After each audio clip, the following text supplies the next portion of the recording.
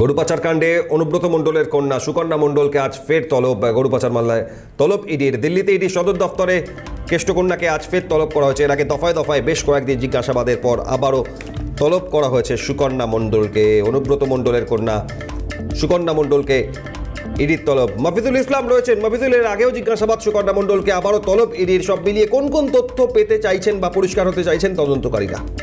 তবে এর আগে ইডির তরফ থেকে টানা তিন দিন ধরে সুকন্যা মন্ডলকে জিজ্ঞাসাবাদ করা হয়েছিল এবং তাকে জিজ্ঞাসাবাদ করে বেশ কিছু গুরুত্বপূর্ণ তথ্য কিন্তু ইডির আধিকারিকরা তারা পেয়েছিলেন।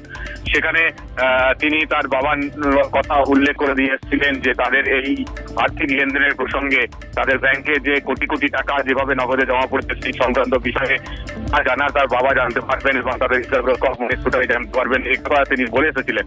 তারপরে কিন্তু ইডির তরফ থেকে অনুব্রত মন্ডলকে জেলে গিয়ে জিজ্ঞাসাবাদ এবং তাকে শোনা হয়। আবার নতুন করে কিন্তু আজকে তাকে তলব করা হয়েছে। আজকে হাজিরা দেওয়ার জন্য দিল্লি সদর দপ্তরে ইডির যে সেখানে তাকে হাজিরা হাজিরা হওয়ার জন্য তাকে নির্দেশ দেওয়ার জন্য নোটিশ পাঠানো হচ্ছিল তবে এখনও পর্যন্ত সোহান মন্ডল তিনি যাবেন কিনা সে বিষয়টি নিশ্চিত নয় এবং সে বিষয়ে এখনও নিশ্চিত জানা যাচ্ছে না। যেটা রাজ্যপাতি সুকর্ণ মন্ডল এই রাজ্যে নেই, রাজ্যের বাইরে রয়েছেন। তবে তিনি দিল্লিতে রয়েছেন সেটাও স্পষ্ট নয়। এখন দেখার বিষয় যে নির্দিষ্ট সময়ের মধ্যে, তাকে সকাল এগারোটার সময় হাজির হতে বলা হয়েছিল। সেই সময়ের মধ্যে তিনি আদৌ এই দপ্তরে যাচ্ছেন কিনা, এবং মনে করছেন।